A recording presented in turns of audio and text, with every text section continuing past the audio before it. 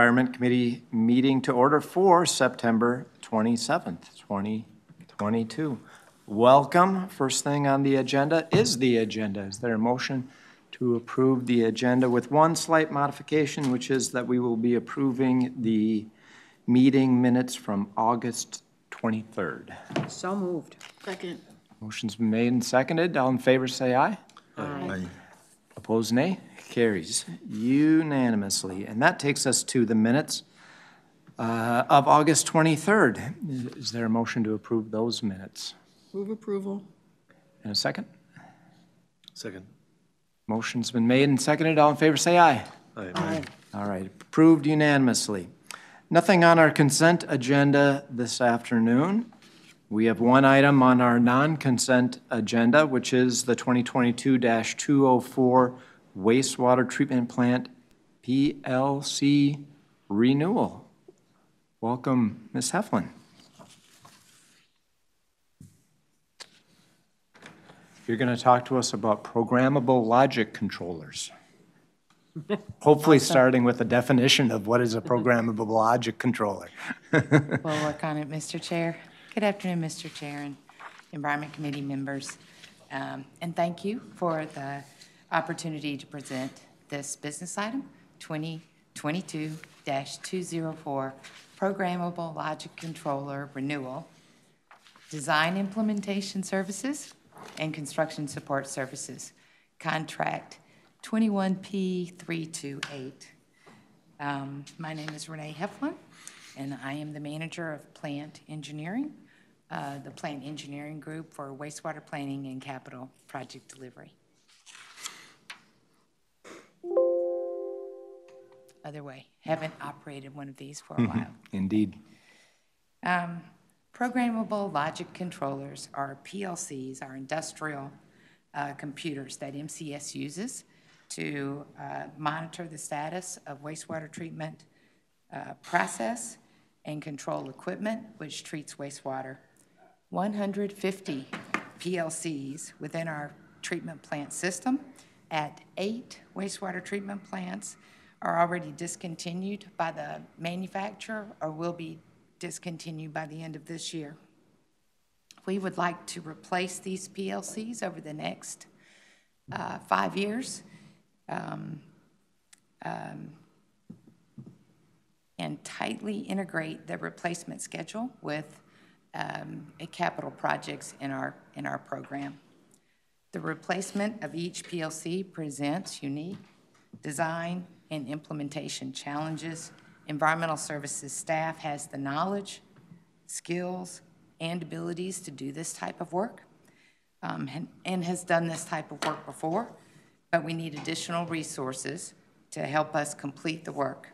The purpose of this contract is to provide additional services needed um, for the effort, for this work.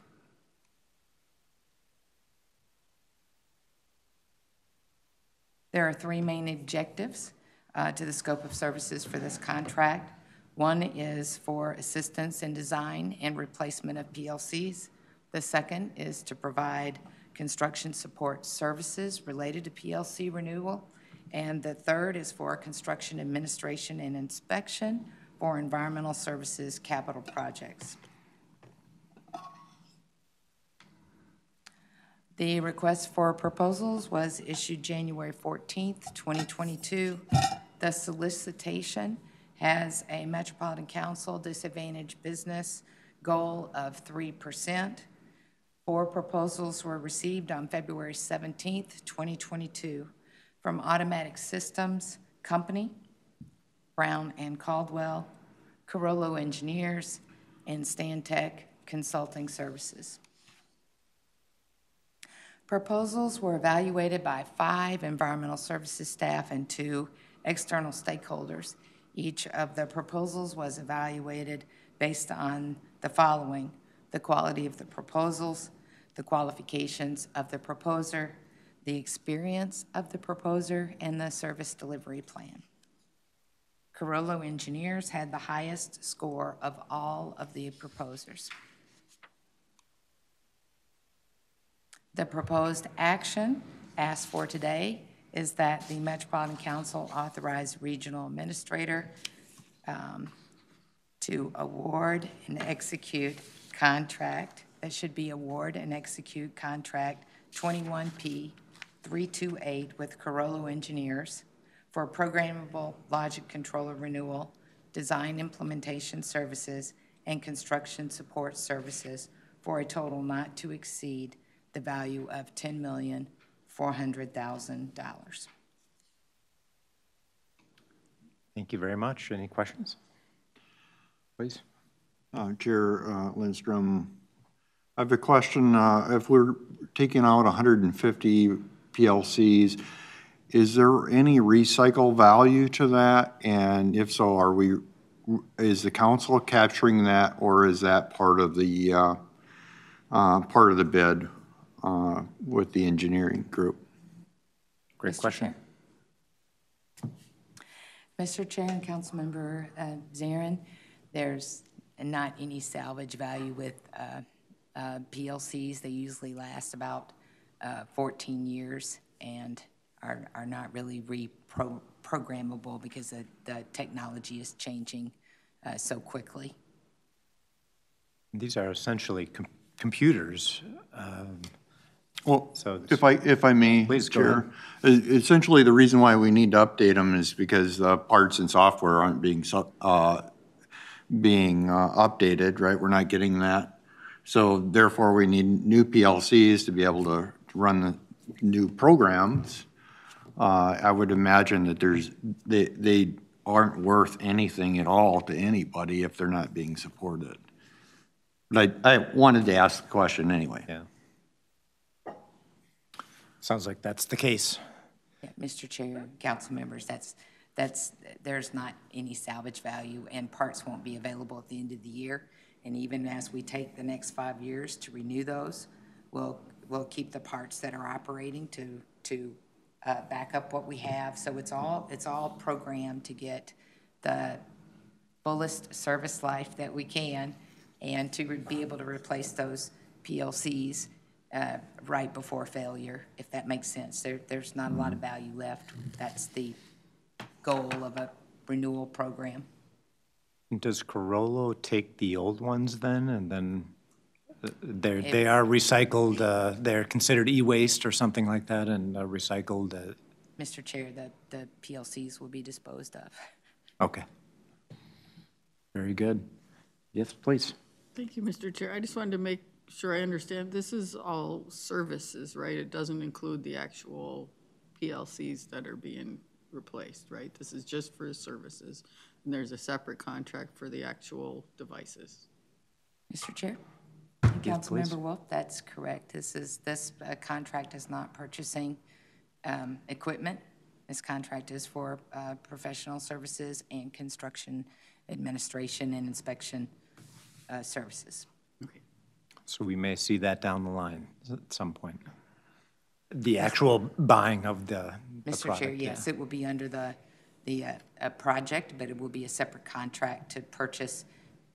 If you'd like me to expand a little bit, and that is, uh, you know, rather than a big contract to purchase them all, there's, um, delivery, um, issues, and what, um, Roger Rabine is the project manager, he's, uh, here is, uh, plan to, uh, allotments so that we can meet delivery schedules, as I said, integrated with other construction projects.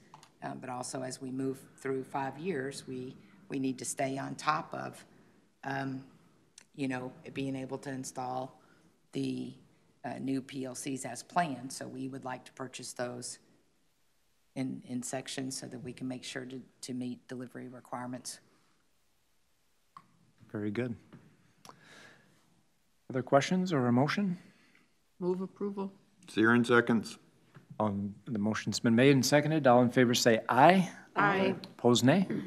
Carries. Thank you. That takes us to our two information items. First one is the 2023 through 2028 capital program. Thank you, Mr. Chair, members of the committee.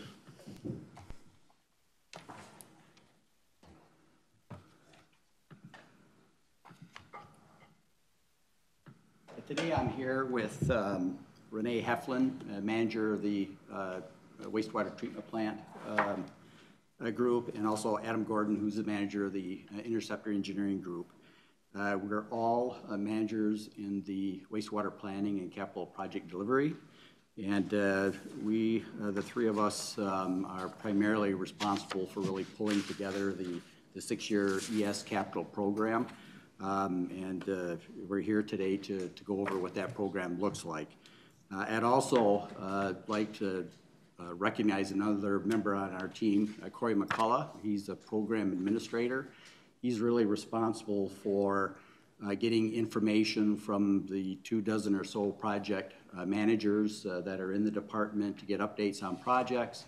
He's also uh, responsible for keeping the three of us on task and on schedule to make sure that we get him the information that he needs in order to meet the deadlines for the council's um, creation of the overall um, capital program. So I'd just like to recognize him. Uh, A lot of, lot of responsibilities there. Um, uh, Today, we're here, as I said, to provide a brief overview of the uh, 2023 to 2028 ES capital program. Uh, This update uh, will include some of the program inputs that are considered in the development of that program. And then we'll also be providing, um, highlighting a couple of projects in both of our wastewater treatment plant area and our interceptor uh, project areas.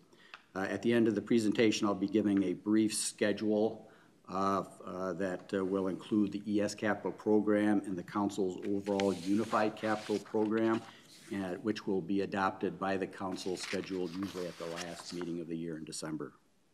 Next slide. Okay, thanks. Uh, The ES capital, uh, the ES customer level of service is the lens uh, through which uh, operating strategies, maintenance programs, and capital program development are evaluated, and decisions are made as to what projects to include in the program and when to schedule their completion. I want, I won't go through each one of these uh, considerations, however, there are a few of the key considerations that apply to the program considerations that I would like to uh, uh, briefly touch on. Uh, Under the area of finance, uh, asset preservation through system rehabilitation and renewal. These efforts maximizes the original regional investments that were made when the facilities were first built by deferring the need for their replacement. Also under finance, uh, by prioritizing cap, uh, by prioritizing projects and their associated costs throughout the six-year capital program, the goal is to maintain a uniform and planned level of expenses and keeping debt service as low as possible, thus supporting a continued AAA bond rating. Under health and safety and the environment, uh, projects that address new regulatory permit requirements and critical condition asset projects are prioritized. And under customer service, projects are designed and construct, constructed to coordinate with local improvements to mitigate impacts to communities and their neighborhoods and also, we have projects reflecting service level needs as expressed in the council-approved local community comprehensive plans are scheduled to be completed by the time the service is requested by that community and at the level of service needed. Also, through the MCES annual budget workshops in the spring and the publication and release of the council and MCES capital programs, uh, adoption, the program is communicated, thus adding transparency to the program. Next slide. To summarize, the capital program consists of two main parts. We have the authorized capital program, or the ACP. Uh, this includes a multi-year authorization for project spending in which funding sources have been identified. Most projects are fully authorized during the first three years of the six-year program if the project is scheduled to start within the next two years. In some cases where we have a project that spans multiple years and it's scheduled for uh, bid letting for construction, the authorization for the full project will be authorized in that first year in order to uh, cover uh, contracted obligations. The Capital Improvement Program, or CIP, is where projects and their funding sources have been identified, but the council has yet to authorize that they proceed. These projects are typically scheduled to start in the latter three-year of the six-year program. And then there's the capital budget, which is the amount of the ACP that the council has approved to be spent in the upcoming year or year one in this six-year program. So the budget for 2020 in this case. Here we have a depiction of the actual and projected um, uh, spending uh, for the capital program. Uh, The light blue uh, bars on this uh, chart reflects the historic program spending between 2018 and 2021. The average approximately $100 million per year. The dark blue bars on this graph uh, are, is the projected six-year capital program between the years 2023 and 28. Uh, This reflects an average of around 290 million per year of estimated work. These figures reflect current project cost estimates based on priority needs, current inflation assumptions, the flexibility to respond to unforeseen timing changes, and project needs.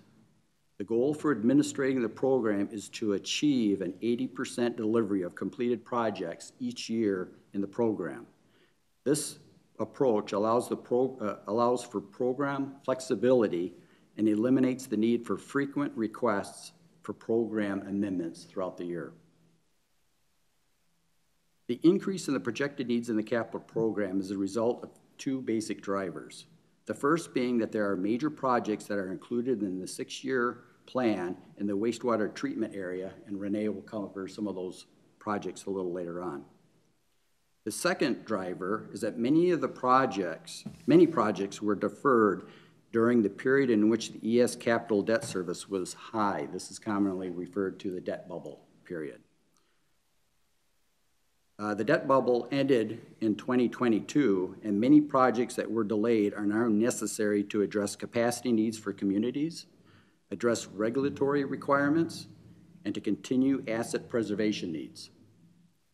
And the gray bar in the center of this chart represents the 2022 program expenditures, which are projected to come in at about 75% of the originally estimated $160 million figure. This equates to about $115 million that we expect to come in at, uh, by year's end for this year. Here's a breakdown of the proposed 2023 authorized capital program. The current authorized program uh, has a value of approximately $1.104 billion. We have existing projects that are currently in the authorized program that reflects an increase of $223,300,000 approximately. These adjustments includes better defined project scope and costs. Uh, we have new projects being added to uh, the authorized program, proposed projects uh, in the order of uh, $55 million. Uh, these new projects are either brand new to the program that have been recently identified, or they were pre-existing projects in the CIP which are now moving ahead into the ACP and we're seeking authorization under the proposal. And then lastly, we have a number of projects that have been completed and which will be closed. That reflects a reduction or an offset of what we're requesting authorization for of approximately $120 million. This gives us a total proposed authorization of uh, $1.263 billion for 2023. This is the six-year authorization request.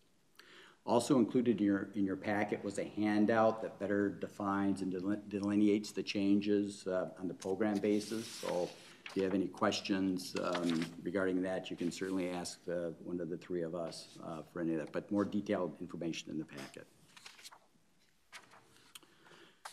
Consistent with the Council's objective categories in its unified capital program, the ES capital program is broken down into three objectives.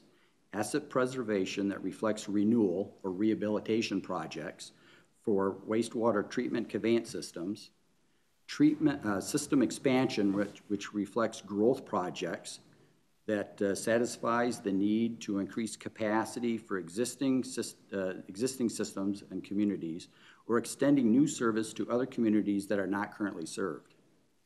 And we have system improvements, which includes regulatory-driven projects, treatment process improvements, system reliability, wastewater reuse, energy conservation, and safety-related projects. The percentages of these objectives fluctuate slightly from year to year, but due, uh, um, from one year to the next, but due to the shift over periods of time uh, to reflect project needs to address growth versus um, asset preservations, they, they do fluctuate uh, from, uh, from time to time. Uh, For the proposed authorized program, uh, we have uh, projects uh, that equates to about 60% reflecting asset preservation or renewal, and an evenly split 20% between projects related to system expansion and system improvements. The ES capital program is also broken down into two types, interceptors and wastewater treatment plants. Uh, Interceptors, under the proposed program, uh, reflects about forty percent of the total uh, proposed uh, uh, ACP, and treatment plants reflects about sixty percent. These project percentages also shift over time. Uh, The proposed capital program, again, includes a number of significant wastewater treatment plant projects, which uh, plays a part in, in the sixty percent being the majority of the uh, type of project in the program. And again, Rene will cover some of these projects. This is a graphic summarization uh, of, uh, of the, of the proposed six-year total capital program. So this is both the authorized or ACP and also the capital program, that portion of the program that uh, we are not seeking authorization at this time, but does reflect future, uh, future requests. Uh, The ACP uh, proposed is $1.263 billion. The future request, or the CIP, reflects a, a future request of $778 million for a total program of $2.041 billion. Uh, The capital program budget for 2023 is being requested at $243 million. The ES Capital Program is funded through three primary funding sources. We have the Public Facilities Authority loans, or PFA loans. Typically, uh, the council asks, ES asks for $50 million annually uh, in loans uh, through this funding source. Uh, These loans are offered at a very low interest rate. Uh, This year, uh, last week, there was a PFA board meeting in which the board shared some of its 2023 fiscal year awards under the project priority list. Uh, Loans up to $64 million uh, offer the lowest uh, interest rate available. Again, the council, the ES, the council's is uh, planned to request $50 million. Uh, The 2023 uh, interest rate is um, 1.75, which is 75 points above the current rate of 1%. So extremely attractive interest rates uh, through this program. Another funding source is the council uh, general obligation, or GO bonds. Uh, The needs uh, to fund the capital program varies uh, from one year to the next. It's uh, based on the fund balance of that program and then the projected funding needs. Usually, we ask for bond issuance for the ES program approximately 18 months or so. Typically, uh, the request is for uh, anywhere from 50 to 80 million dollars per issuance. These, again, are very good uh, interest rates, uh, uh, in part due to the council's current AAA bond rating. Uh, It's anticipated that ES will request a bond issuance in 2023 to support the capital program needs as outlined here this afternoon. The current bond rate that was acquired in 20, oh. Question, yeah, please, go ahead. Thank you, Mr. Chair. So if the rates are so good on the PFA loans and you can get up to 64 million, why aren't we asking for 64? To have more strings with it? Yeah, uh, Mr. Chair and Councilmember Wulff. Yeah, traditionally, we've, we've asked for the, for the 50 million. It's uh, somewhat of uh, um, uh, an agreement to, uh, to set that ask at 50 million, recognizing that there are a lot of outstate needs as well. And so it's, uh, it's the council's way of kind of establishing a known set of, or known amount uh, of the ask. That 64 million also fluctuates from year to year. We were made aware of the elevated increase uh, at the board meeting yesterday, and we submitted uh, for our project funding back in March, I believe, back in March. So the, the $64 million limit wasn't known to us at the time that we requested the funding. There's also, at the board meeting, there was a discussion uh, surrounded, um, or around the fact that there wasn't a, um, a bonding bill this, this session. So the, uh, the projects uh, that were on, uh, that were certified, uh, the, uh, the PFA will, will um, commit to the level of funding for those projects that were, were certified and approved under the 22 program. But for projects that have not been certified, they're going to, they're going to hold off on allowing those projects to be certified until there's a next bonding bill, likely not until next, uh, next session next year. So even if, even if there, um, even if there was a greater level of availability, uh, we wouldn't have been able to draw on that until 2023 anyways, just because of the, the, uh, uh, the issues surrounding the lack of a bonding bill this year. But typically, the 50 million is, is what we've uh, asked for in the past. Follow-up. Thanks, I understand that, but our, our capital expenditures are going up dramatically too. So I, I- I'm wondering why we don't think about increasing the amount that we do in PFA. Yeah, there, there's also another consideration too. There, there is a certain amount of capacity that we have to actually deliver, uh, deliver projects. Um, we've uh, historically have been able to just match that fifty million dollar, uh, loan amount, uh, through previous years in the capital program. But it is, it is a point worth taking, or worth noting that in the future, um, you know, it's cheaper money, and uh, we could certainly revisit and have discussions with the PFA and P, uh, PCA regarding um, a desire on our part to ask for more money. Thank you. Good questions. Good questions. Go ahead. Okay. And then the third uh, funding source is uh, PayGo. These are set-aside funds from the municipal wastewater charges that are dedicated to paying for some of the capital expenditures. Uh, This strategy reduces debt service that would otherwise be incurred if projects were funded through the GO bond funds. Uh, The proposed 2023 PayGo fund is $11 million, which is the same rate as it's been in the last, uh, last few years. Uh, One way the capital projects get into the capital program, program is through comprehensive plan submittals, whereby regional service level needs are reflected.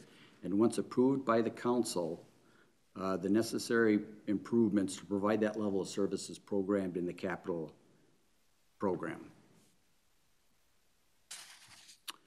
And then through Minnesota Statute 473, uh, that allows us to uh, uh, do a check against the local levels of service and the ability for the council to provide that level of service uh, through the system.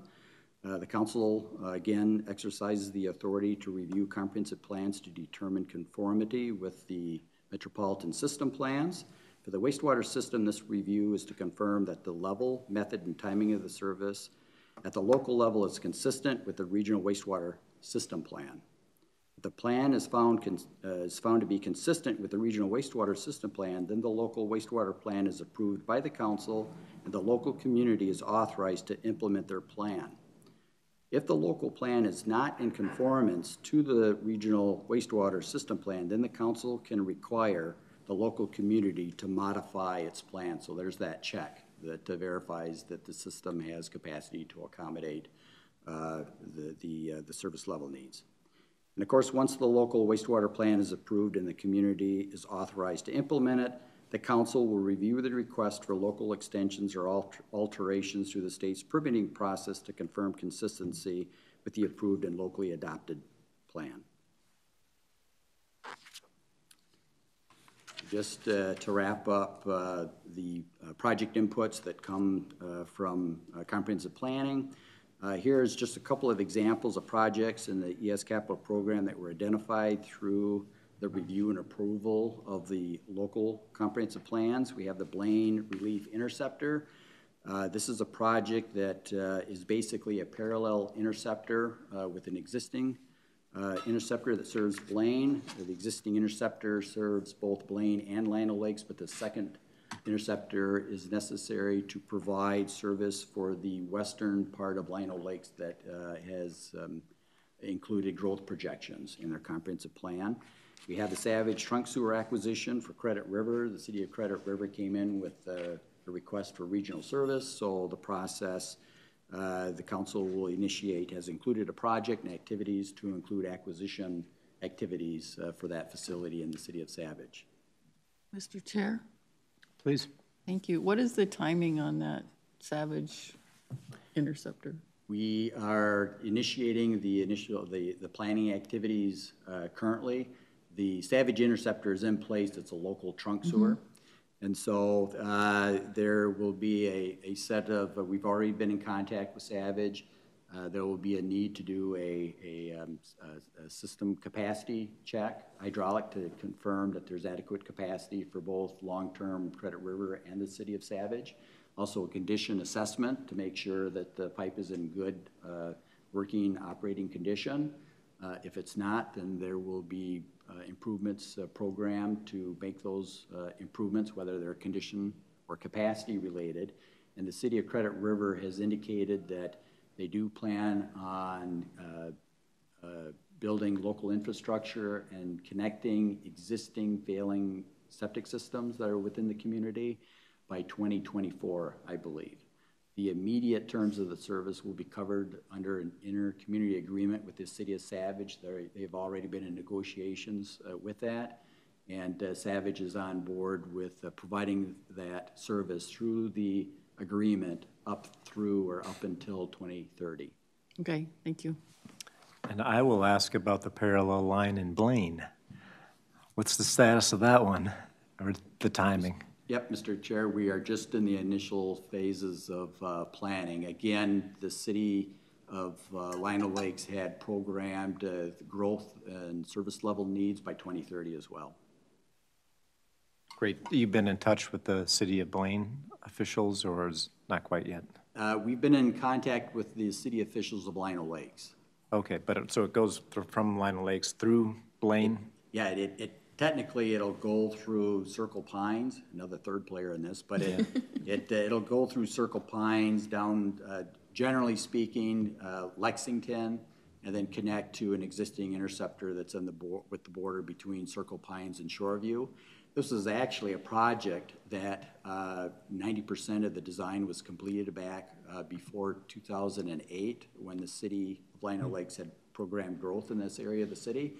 But with the downturn, uh, with the market, the development dried away, dried up, and then they um, revised their plan to basically take that growth off, off, uh, off of the forecast. So we basically paused the project. We, we do have a set of plans that are ninety percent complete, but there'll be a need to do, you know, an an updating of uh, surface conditions and design and Great, thank you. interesting story. Uh, And then uh, we also have the Rogers uh, uh, wastewater treatment plant acquisition uh, that was, came in through the comp plan, that was uh, acquired in 2019. Crow River wastewater treatment plant that will be built, that will phase out the existing Rogers plant. And then also, we have a number of small system improvements, such as meter stations, lift stations, and other small improvements that helps facilitate local planning needs. With that, I'll now turn it over to Rene that'll, who will review some of the wastewater plant projects. Thank you, Kyle. So there are uh, six major wastewater treatment plant capital projects that I want to highlight um, this afternoon. And these are two design-build projects at- at the Metropolitan Wastewater Treatment Plant. Um, The one I've already men- mentioned, a system-wide uh, PLC or Programmable Logic Controller Renewal uh, Program um, at, in the, at all wastewater treatment plants. Improvements for the Blue Lake wastewater treatment plant, and then there are two uh, new plants, Hastings and Crow River. These are the largest, most complex uh, plant projects that are planned to be under construction in the next six years. Um, We received proposals for the Metro Services Building and Site Improvements Project on August 11th. This is a design-build uh, project that will relocate about 60 environmental uh, services staff who currently office in temporary trailers um, or lease space. And we will relocate those staff um, to either um, the new services uh, excuse me, the new services building or the field services building annexed to the Metro Plant Laboratory uh, Services Building. About 18,000 uh, square feet of the analytical laboratory will be rehabilitated or remodeled. The new services building, services building addition on the west side of the analytical laboratory will be 27,000 square feet and industrial waste and water resources staff. The field services addition on the east side will be 19,000 square feet and will provide office areas for laboratory staff, additional sample intake areas, and also field vehicle parking. The design-build contract will be awarded this year, and construction will be completed 2024, when the current lease is uh, up at uh, Metro 94.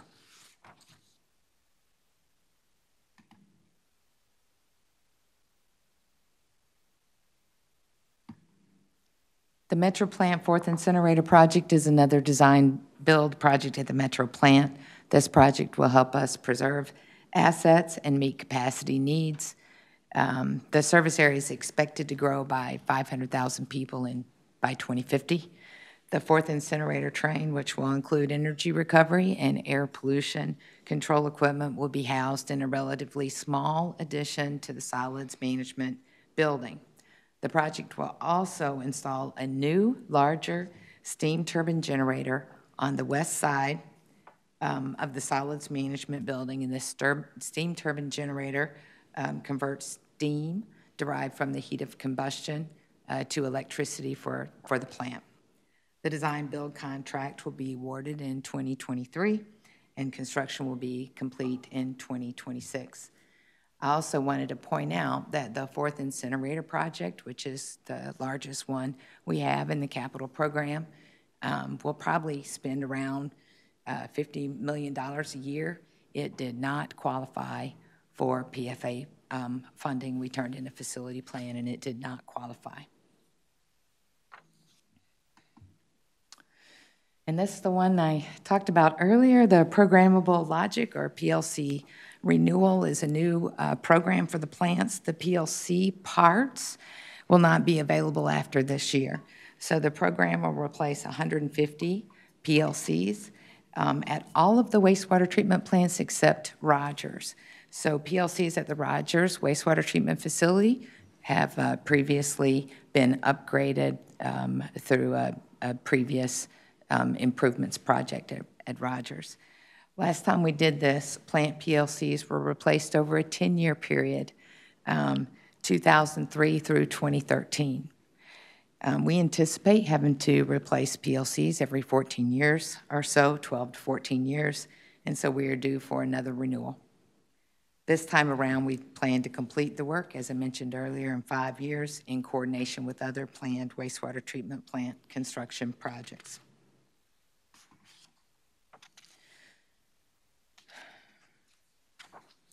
So the approved facility plan for the Blue Lake wastewater treatment plant contains three phases of, of uh, capital improvements. The Blue Lake wastewater treatment plant improvements phase one includes work that needs to be completed in the next 10 years to maintain uh, our level of service. And there will be at least three construction projects, renewal of solids treatment facilities, which includes a new dryer, as well as rehabilitation of the existing dryer, um, addition of a fifth digester, and liquid process improvements that will help the plant treat projected peak hour flows, as well as it's going to help the, the plant um, prepare for meeting future phosphorus um, limits. And that would, we anticipate those in the next permit cycle at, at, at Blue Lake. Construction will start on the first uh, project in 2024, and construction on the third project will be completed in 2027.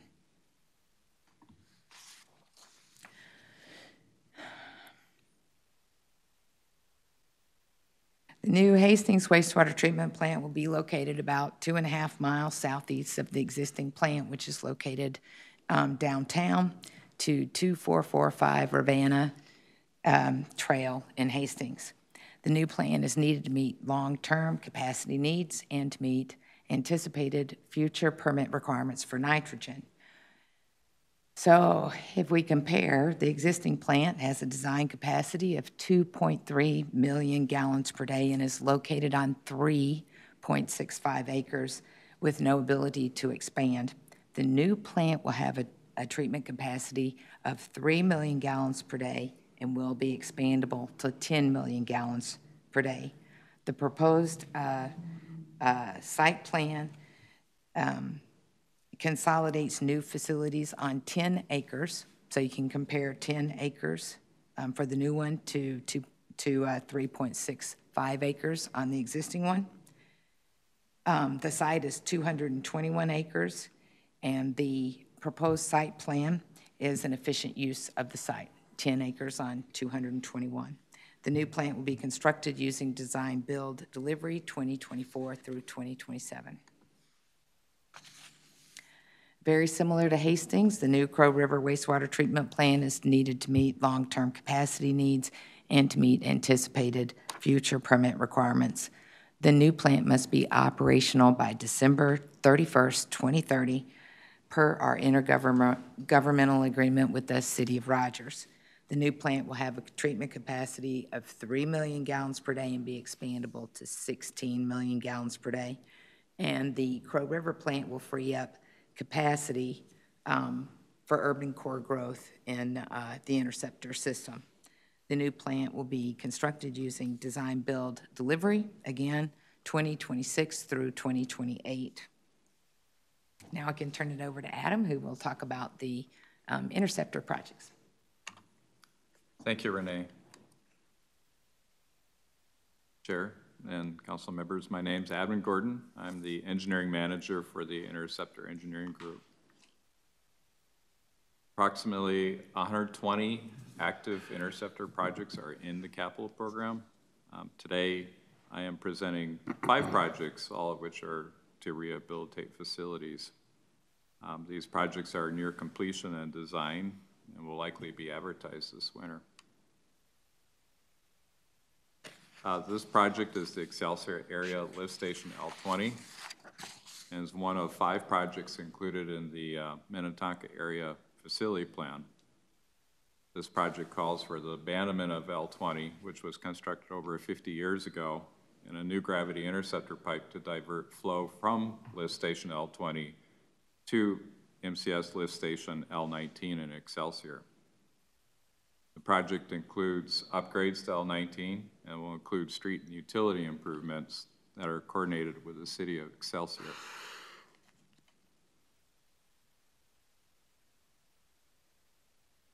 The Coon Rapids 4NS 525 rehabilitation project includes cured in place pipe or CIPP lining of approximately 7,900 feet of 48 inch gravity interceptor sewer and 20 maintenance holes.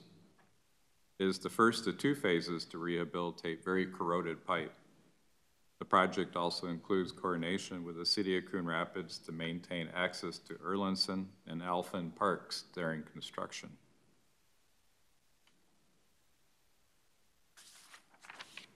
The L48 rehabilitation and 6DH 645 force main replacement project is another project included in the Lake Minnetonka Area Facility Plan. L48 uh, was originally constructed in 1971, included buried valves between the wet well and the pumping equipment. One of the valves has failed, causing significant reliability issues. The ductile iron pipe, or DIP force main, is over 50 years old, and the gravity sewer outfall has structural deficiencies. The project will include a new valve vault to get those vol, the valves out of the ground. New for, our re, rehabilitated new force main, actually a new replacement force main, and a replacement section of new gravity sewer where the structural deficiencies are located. The L46 and 49 lift station improvements project is the third project presented here that is also included in the Lake Minnetonka facility plan. The L49 lift station in Force Main, built in 1960s in Orono, no longer has sufficient capacity and requires significant upgrades. The project includes the replacement of L49 and capacity upgrades to L46. And a condition assessment of the force main that's located between the two lift stations was performed during design, and that force main was found to be in good condition.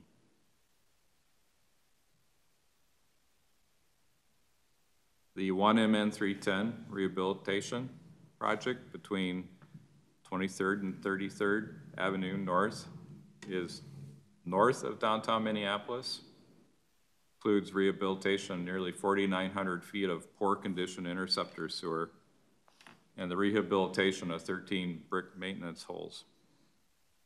This 54-inch concrete gravity pipe sewer interceptor was constructed in 1935. The project is one of a series of projects to rehabilitate the 1MN 310 interceptor. The previous phase, you might have remembered, included lining of the interceptor between 8th and 15th Avenues along 2nd Street North, completed in 2021. With that, I'm going to hand it back over to Kyle. Yep, thank you, Adam. And just in conclusion, here we have the, the schedule for the approval of the ES capital program. I believe last month you were presented the division level budget proposals and acted on the preliminary unified operating budgets and council levy proposals. Next month, you'll be presented the division levy capital programs and the unified capital programs. And also next month, uh, public review comments on the draft budgets will be presented and adopted. And then the final adoption of the 2023, I think there's a there. The final adoption of the 2023 program will take place, as I mentioned earlier, in the last uh, official uh, at the council in December this year. That, and questions? Other questions? Please. Thank you, Mr. Chair. This one's kind of deep in the weeds for Adam, I'm sorry. But you, you talked about one MN 310 in there, but the list of projects has a pretty substantial one for one MN 320.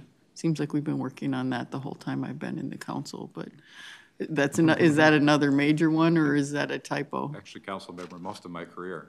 Um, That we presented last year, and so I wanted to give you a flavor of what we were doing, what was coming up this year. The status of the one MN three twenty project is, uh, we're very close to securing some property, which is necessarily necessary to keep the project going forward. And we're still planning on presenting a facility plan this fall for the, those facilities, which will include a pump station and new gravity interceptor pipe. Thank you. Other questions? Please. Mr. Chair, um, so at transportation yesterday, we, uh, because of COVID, right, there's been some cost savings as it relates to increased lifetime of buses, right? And so just to kind of applying that same sort of lens to our budget, my assumption is you don't have that, any kind of COVID impact on environmental services. People are still capital, flushing. Right, yeah. You're looking at me, Mr. Chair, uh, council member. Uh, We really haven't seen a reduction of our facilities all anywhere. Um, It's interesting because I was just talking to uh, a system modeler who's been working in Duluth, and they actually have some trunk sewers that the flows went way up, and they're concerned about capacity because there's more population that is working from home. Um, I don't think we've seen anything really significant uh, due to the uh, changes in, in work and, and work relationships at, in the Twin Cities. Thank you. Good question. Yes, go ahead. So with the, the much larger per-year capital projects that we're looking at, um, what's that gonna do long-term to our rates? We did, um, uh, Mr. Chair and Councilmember Wulff, we did uh, talk to uh, Finance, our financial person, Dan Schuler, uh, who did uh, take a look at what the potential impacts would be at those higher levels, uh, assuming that uh, we achieve that 80% uh, goal of trying to hit uh, those annual expenditures. And I think they were pretty much in line with what we are anticipating, about a five, you know, 5%, five and a half percent um, increase um, to facilitate that, which is pretty close, I think, to what we're proposing for next year. So um, a little bit of an impact, but not as, not as much as, you know, one would have anticipated, I guess, I based on guess the fact. I'm looking farther out than just next year. That's, a- that's a substantial increase. Yeah, it, it it did represent a five percent uh, annual increase um, in the six years of the program. Five years each year. A five-year, yeah, it was a five-year, I believe it was a five. 5% each year. Five percent, yep. Yeah. Okay?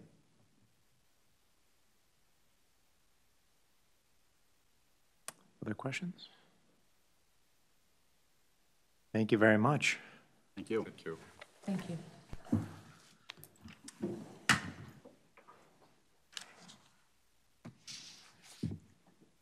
Last but not least, Private Property Inflow Infiltration Grant Task Force.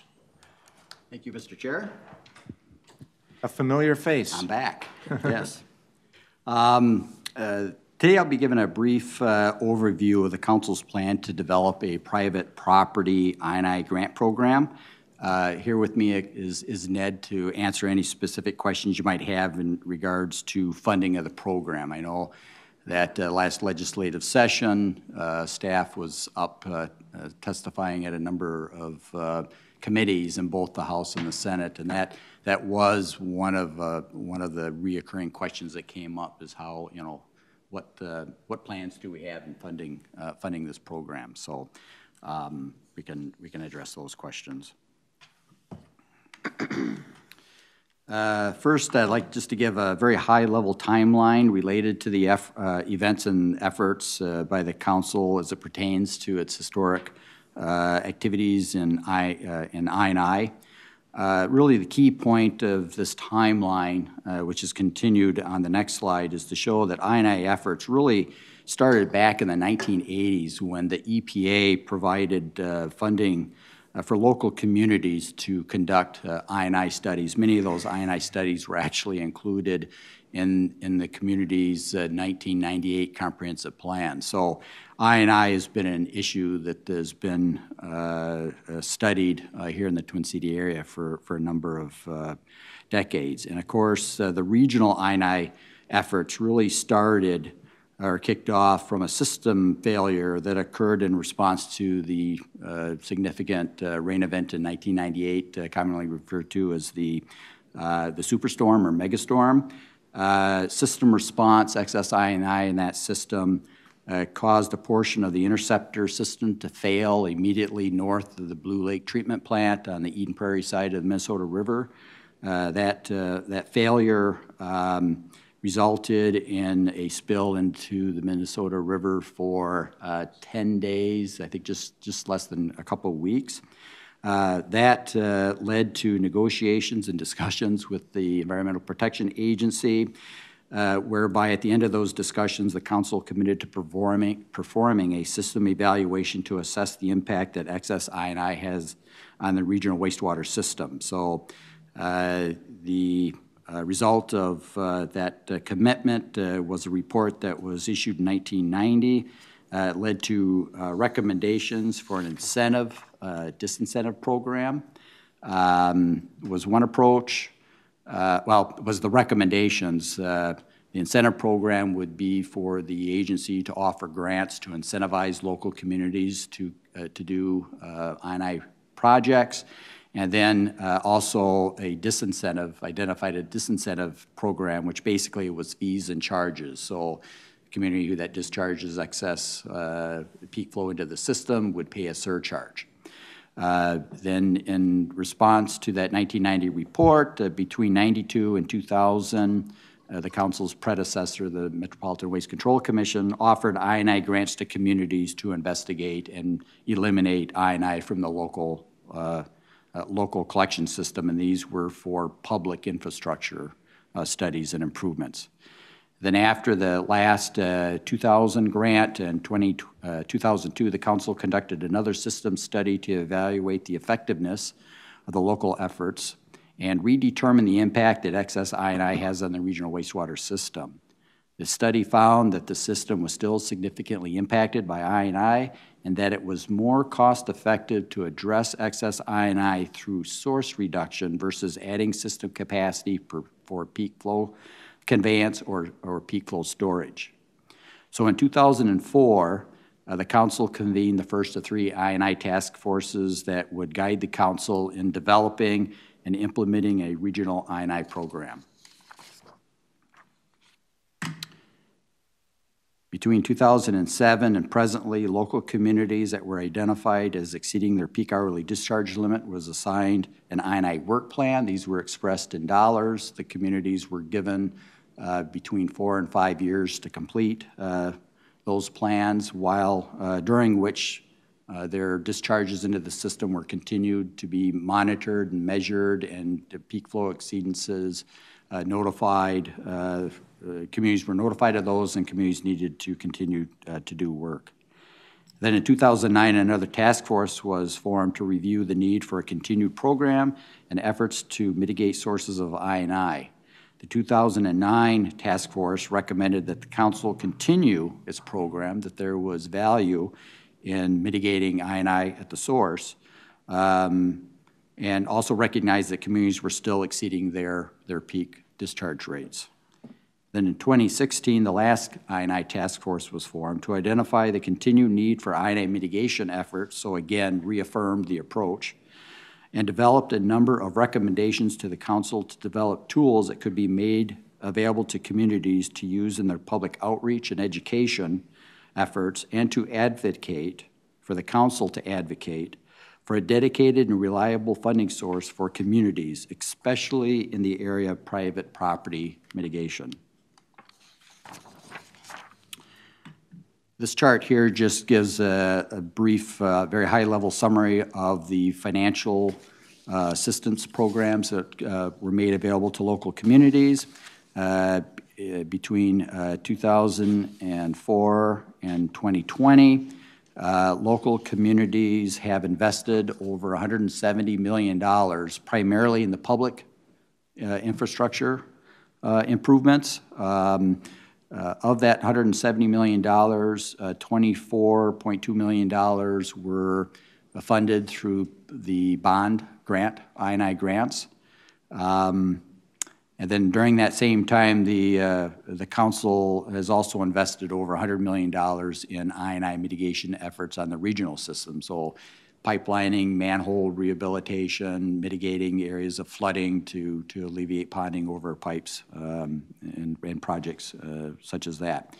And then in 2013, we had a one-time uh, funding source for private property I&I uh, that came from the Clean Water Legacy. Uh, ES Finance uh, administered that uh, program, but the key takeaway here is out of the $170 million of work that's been done to date. The vast majority has been on the public, uh, public side. So the comment, well, and so uh, one of the recommendations, as I indicated a little bit earlier, uh, the 2016 task force uh, was, um, was in acknowledgement of the unreliable funding sources uh, for private property uh, assistance and so the recommendation was that the council seek statutory authority to allow the Metropolitan Council to provide financial assistance through communities to assist private property owners with I&I mitigation activities using revenues generated by wastewater fees.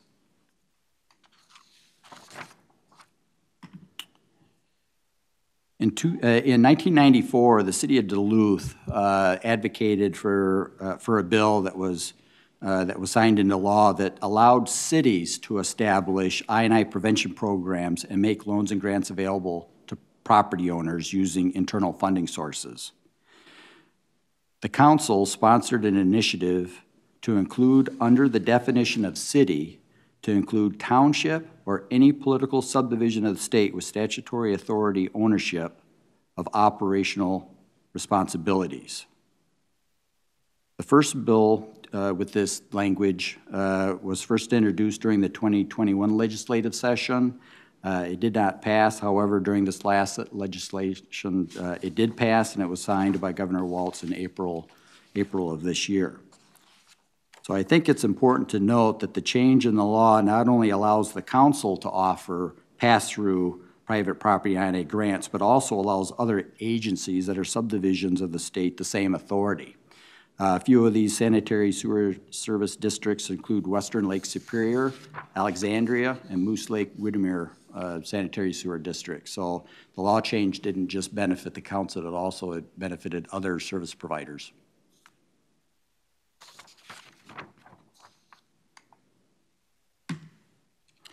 So, so acknowledging the statute change and in follow-up with the 2016 recommendation, staff uh, proposes that the private property I&I grant program guidelines for these grants be developed by a task force consistent with our historic uh, approach for customer representatives uh, um, uh, for the council's regional I&I program. It's envisioned that members of the task forces will include a mix of local staff areas and area, uh, area uh, a mix of local staff representing different areas of responsibilities and background experiences. Also, we propose to have a good mix of communities based on size, type of community, the percentage of housing stock age within that community, geographic location, and their susceptibility to I&I. And as with previous uh, task forces, we also uh, are proposing that metro cities uh, be invited to participate in the task force. So some of the milestones uh, for the schedule, uh, we do plan to have the chair recommend membership uh, to the task force. We have been in contact with a number of communities, St. Paul, Minneapolis, um, St. Anthony, I believe the city of Chanhassen has agreed to serve uh, on that. We are still seeking, uh, in addition to those four, probably another nine to, to, to 11 uh, representatives. Uh, past task force has, has, usually been in that 15 to 17 membership range. Um, uh, with the addition of uh, metro cities, and historically, the task, task force has usually been chaired uh, by someone uh, on the Environment Committee, so that might be a request uh, coming up here in the future. Um, then after uh, the chair recommends membership, we plan to have our first meeting of the task force in November, uh, wrapping up uh, meetings with the task force in April of 2023, then begin the development of the program in June of next year, finalizing with a public hearing in September, uh, with the first grant applications being accepted in January of 2024. And with that, we can answer any questions you might have.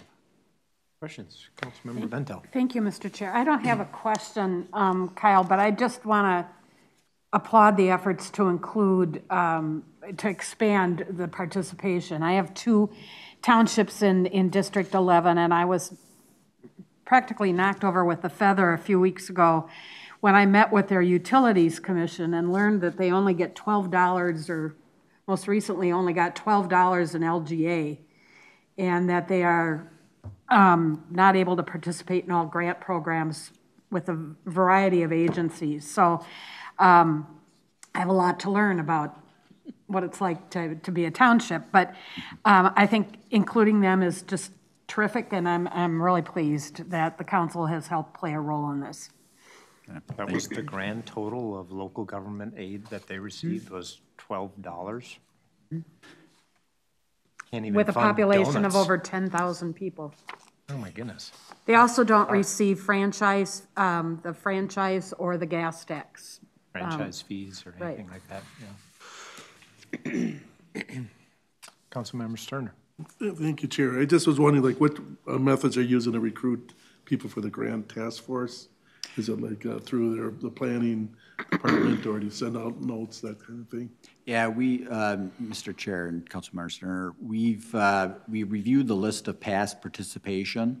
Uh, We also, uh, we- we've uh, basically reached out verbally uh, so far. We haven't really gone out with any kind of broad solicitation for membership. Um, Contacting really the, you know, Minneapolis and St. Paul being the two largest contributors, you know, of wastewater flow in the system. Um, And then also, again, uh, contacting um, a couple of communities like St. Anthony uh, specifically that actually expressed an interest to serving on the task force when they heard about the efforts back in 2021. So wanted to make sure that uh, we at least offered them the opportunity to serve on the, on the task force. Councilmember Wulff. Number one, I volunteer. Number two, um, we might want to ask West St. Paul to be involved since they have significant experience with private I and I. They're, they're on my list. And just to be clear, the volunteer was to chair the, the task force. Fantastic. Uh, Without objection. I've, I've done it before. I know you have. You did the 2016 task force. Uh, not that one, I did the one before that. Okay. I think that is a fine idea. Councilmember Fredson. Thanks, Chair. Um, so you referenced some communities that are outside of the metro that have dealt with this challenge, and I'm just curious to know to what extent this task force will be working with representatives of those communities, and I just, I asked that question because my observation is, this is always a legislative priority, obviously needs more resources, especially if you get to the point where you're actually paying for the private side of the work. Um, and I think that in the end, that's probably what's gonna hap, have to happen in order for the, the replacement to occur.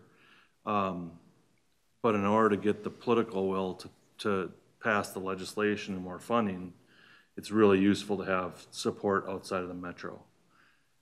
So that's the background on the, the question. Yeah, um, Mr. Chair and Council Member Fredson, um, that, that's, the, the task force will, will help guide the council in, in- the guidelines. Uh, One of the considerations uh, might be the fact that uh, these funds will be coming from uh, a portion of revenues collected through our MWC. Uh, So therefore, you know, the, the availability for the funds might be uh, restricted to those communities that are, that are contributing to, to that funding source, the users, the 111 community, technically 112 communities that are contributing to the system. And is that part of the task force? It's to come up with where the funding comes from? Whether it's the MWC or state appropriation or Yeah. something else? Mr. uh, uh, uh, Mr. Chair. Um, Yeah, the, the, the source of the funding, we, we've already have kind of earmarked as being the PAYGO. Um, That, again, was one of the common questions that came up during the testimony up at the, up at the Capitol this last legislative session. They, they, they wanted uh, to be assured that uh, this program would not uh, result in any rate increases. Um, So the, the PAYGO is a dedicated, uh, reliable, set-aside fund that uh, we feel we can, we can utilize to, to fund the program. The amount of the annual request will be something that will be talked about um, at, at the task force. Uh, the- the- It is $11 million um, that, that is also used to support the capital program and other, and other projects and activities, uh, all related to the capital program, but, um, yeah, the, the funding level uh, will be something, uh, will be part of the discussion. Great. Councilmember Wulff. Thank you, Mr. Chair. Back before you guys were here, they had a discussion on what was the impact of all of this maintenance that we had been doing on the system. And I can't remember the exact amounts, but it was somewhere in the vicinity of hundred and twenty-five million dollars of maintenance has, had saved a billion dollars in costs for expanding interceptors and plants to deal with water that didn't need to be in the system. So when you, when you make those investments, you get a really great return on the investment. But we've been restricted up to now on being able to get at that last piece of all of those little pipes that are having the rotor rooter man come and drill them through and there's pretty much no pipe left and you need to replace it kind of a thing. So we have the, the, the opportunity to have a pretty good return on investment on those pipes as well. So that's a billion dollars that we're not passing on to small businesses and homeowners Yes. uh, all across the metropolitan area. I'm sold. Other questions, comments? It's an important task. Thank you, Councilmember Wulff, for volunteering to co-chair. Really appreciate that. Um, And we do not need a motion, so Thank you very much. We look forward to hearing more. Thank you. Okay, that takes us to the general manager's report. Just today, I would, um, given the items that we just heard presented, the I&I, I, I want to emphasize that that was the region looking at this on more of a whole and the ultimate outcome, so that we make a decision that, that everybody benefits from versus, that's your problem. We don't care what it costs to fix it, just fix it. And, and that is so much our recurring theme for water in this region and trying to live our vision of clean water for future generations. So the fact that we had uh, Chair Lindstrom and Councilmember Sterner, the last meeting that we would have met, that we didn't have, um, you were at the One Water, U.S. Water Alliance Summit, and I understand the delegation did some good work together and, and are going to help us with this regional development framework this next round to bring that concept even more to life for us. So I'm excited to have the partnership we already have, but the fact that we're growing in our understanding of how to achieve one water. Yeah, I'll just add to that. I think this summit highlighted for me how historically we've thought about water in these different silos. You have groundwater and surface water and drinking water and, um, and um, uh, stormwater and wastewater. And water has no idea what water is. No, like water doesn't know if it's groundwater. Water doesn't know if it's gonna be turned into Gatorade in five minutes or if it's wastewater. Water is water, but we have this um, alphabet soup of, of agencies out there. Uh, BWSR and MPCA and DNR and us and all the watershed districts. And they're, they're, we're all in these silos and we all work together already, certainly. Um, But this One Water Summit really highlighted the need to work together and the need to work more inclusively with the communities that we serve um, and not leave anybody behind. There was a real strong emphasis on um, environmental justice, thinking about Flint, Michigan, thinking about Jackson, Mississippi, thinking about New Orleans and who was impacted by flooding, um, right on down the line. And so it was really, uh, as I said, refreshing um, to use the, the water theme. Uh, and um, it was reinvigorating. And I, I think Councilmember Sterner probably felt the same. Uh, And it was great that, that we had a whole delegation of people that were there. We probably had, I don't know the exact number, but eight, nine, ten of us um, from community development and from our folks uh, that were all kind of thinking about, okay, well, we're, we're just uh, um, approaching this next round of, of regional work, regional development work, and how do we, how do we incorporate what we're hearing into this 2050 planning? I don't know, Sterner, anything you'd like to add? Well, well, just I'd say it was really a good collaborative uh, thing, and it was very impressive seeing all the different people around the country. Like, uh, one of the people who was in a delegate worked with of the nonprofits, she said when she was in the water biz like eight or nine years ago, she'd count people in the room, and there was one woman for every, you know, nine men in the room, And it was pretty much 50/50 when uh, we were there at the convention, and a lot of diversity of the people. And there were other people from Minnesota looking at, uh, you know, the environmental justice piece and things. So it looks like really collaborative, and I had a good connection with the Water Bar. They had a couple artists that work with the Water Bar, and they were there kind of promoting the Water Bar around the country. So they had water from Little Rock, and we had three places from Minnesota as well as New Orleans water, and it was kind of great doing that. But one of the uh, artists was working with carp, and so the Clean Water Council, we're trying to figure out what do you do with carp because it's an invasive species, and try to make it a you know a thing. But she she was making purses and belts on that, so